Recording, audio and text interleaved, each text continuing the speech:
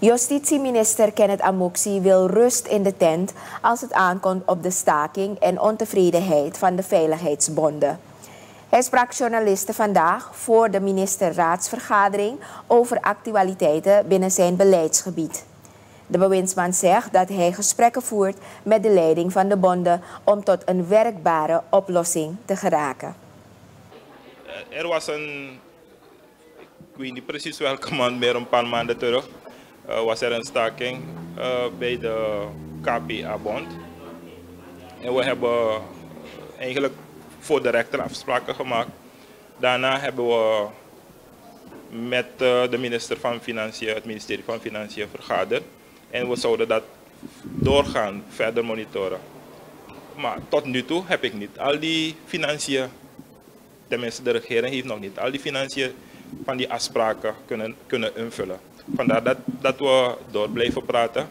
Uh, morgen is er een overleg uh, met uh, deze bonden weer, breed, met de minister van Financiën onder andere en andere ministers, de cluster minister vakbonden. Dan gaan we morgen weer praten.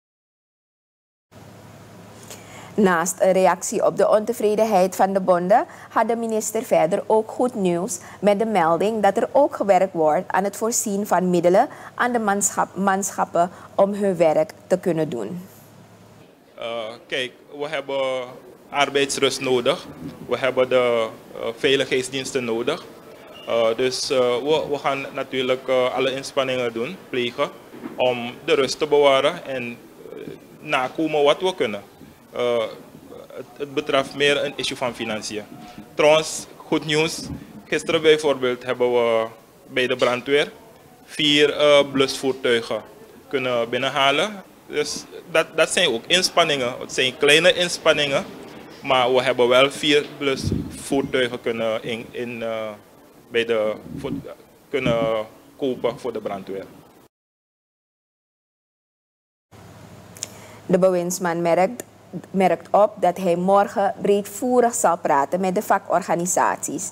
Van de politiebond heeft Amoxie wel een schrijven ontvangen, maar die heeft zich vooralsnog niet aangesloten bij de staking van de andere diensten.